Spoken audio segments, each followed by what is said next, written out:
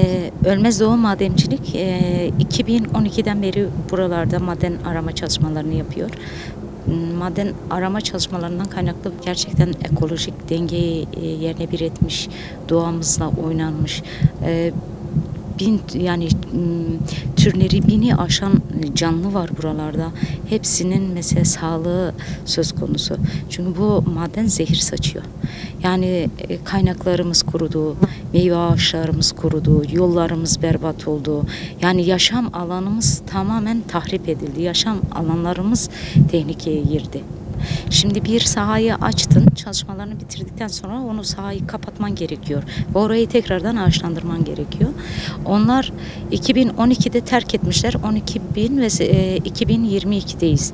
Arada 10 yıl geçmiş ve o çukurlar öyle açık.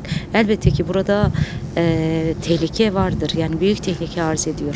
Çukurlar açık. insanların arazileri var. Bağlar var hemen yukarısında. E, biri bağına gitti. Hadi biri bir e, hayvan otlatmaya gitti. Bir denge kaybında oradan yani düşerse ya da dengesini kaybederse direkt hayatını kaybeder. Yani çevreye m, elbette ki büyük tahribatlar var yani e, her yönüyle büyük tahribatlar var.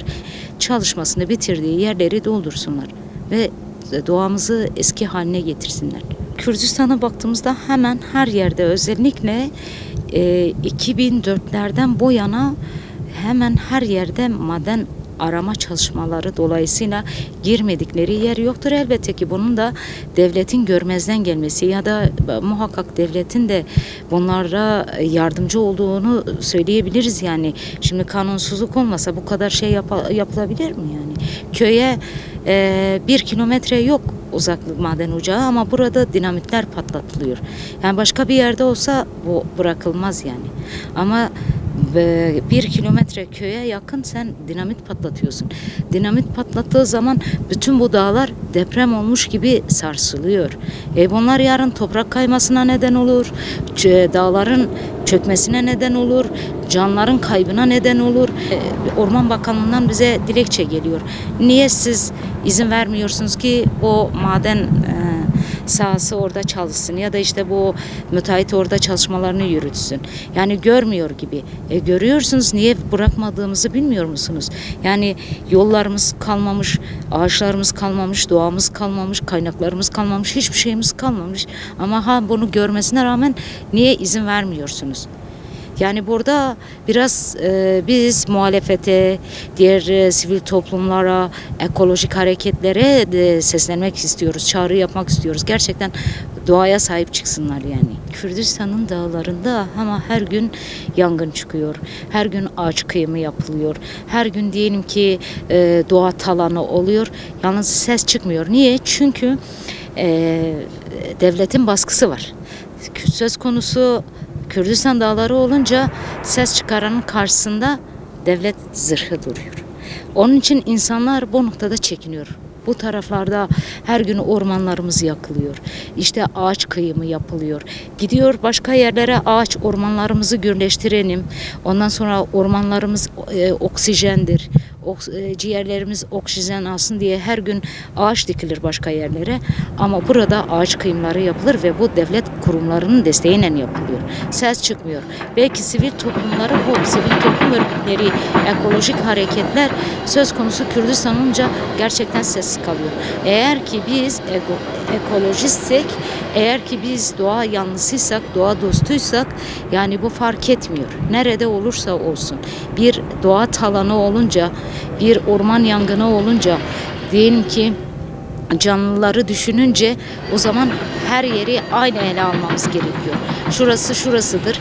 Nasıl ki e, Kürdistanlılar, insanlar hepsi terörizme edilir, e, bir e, kenara verilir, tutuklanır, yargılanır, başka öcü gibi görünüyor. Ormanlarımız da bu şekilde. Ormanlarımızda, doğamızda yaşayan canlılarımız da. Yani ben anlamadım. Sanki bir bütün Kürdistan'da yaşayan tüm canlılar suçludur. Doğası suçludur, taşı suçludur, ağacı suçludur, içinde barınan tüm hayvanlar suçludur. O şekil bir bakış açısı var. Ve biz bu bakış açısını eee, yıkmamız gerekiyor. Yani buradaki batıda canlı neyse Kürdistan'daki dağ, e, dağlarda yaşayan canlı da aynıdır. Batıdaki ağaç nasıl yanıyorsa, orman yanıyorsa, ciğerlerimiz yanıyorsa Kürdistan'da yanan ormanlar için de aynı şeyi söylememiz, aynı tepkileri göstermemiz gerekiyor. Benim onlara e, çağrım e, gerçekten e, dürüstçe e, her yeri sahiplensinler. Bütün doğayı sahiplensinler. Sadece bir bölgenin değil, bir yerin değil. Yani tüm ormanları, tüm doğayı, tüm canlıları sahiplensinler. Kayaş madrasının nüfusuna kayıtlı. Madenciler eskide burada çalıştılar. Ne ürün aldık, ne bağımız kaldı, ne meyvemiz kaldı, ne bahçemiz kaldı. Mahvetti, o zehirden hiçbir ürün alamadık. Çok köylü buradan evini yükledi gitti o sebepten dolayı. Dedik burayı getirin düzeltin. Hatta o saha var ya o sahayı bize dediler ki ağaç ürünleri getirip dikeceğiz burayı ağaç yapacağız yalan söylediler bıraktı gitti. Üzüm hep simsiyah oldu, cenk vurdu. Üzüm alamadık. Ağaçlarımız kurudu. Elma olmadı. Bu köyde o kadar badam var. O badamlarımız hepsi töküldü. Hiçbir şey alamadık. Öyle sıfır elde sıfır. Bir şey yapmaya alamadık. Zehirlidir. Maden zehirlidir. Kendisi zehirlidir. Onu, onun için istemiyoruz.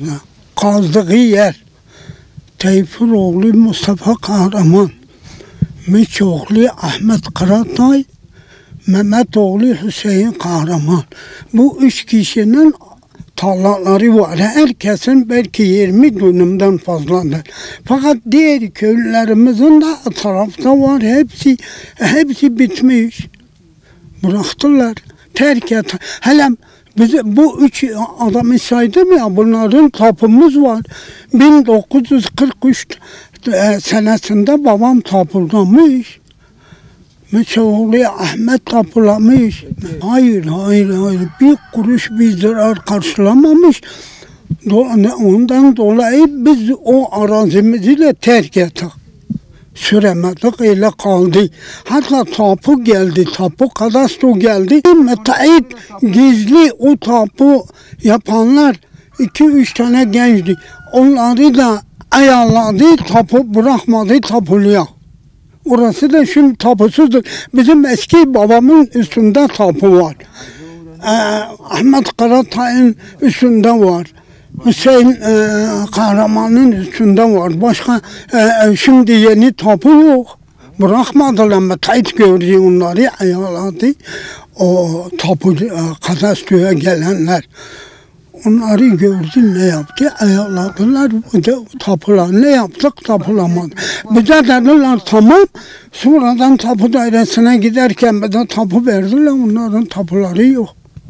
Kalmadı ki burada bir e, dönemi dolduruyor. Burası hava sır, sırsız saranıyor. Yani ne bahçe kalıyor, ne meyve kalıyor, ne badam ağacı hiçbir şey kalmadı. O tozda mozda hiçbir şey kalmadı. Ha, her sene orada bağımız var yapıyoruz. Orada gidiyor getirir ne biraz su atıyorlar ne bir şey ne, kimin ömründedir. Güç, güç. Kim yapıyor bunları? Yaşamam var yani biz korkumuzda o memlekete gidemiyoruz. Yani biliyoruz yani düşeceğimizi biliyoruz. Oraya da gitmiyoruz. Yani ben- bana şahsen sana söyle git o bir milyon para verir ben gidemiyorum. Ben oraya gidemiyorum ki. Yani benim va- arazide ne meyve var, ne bahçe var, ne bostan var. Hiçbir şey kalmadı. Badam ağacı, hepsi tozdan gitti.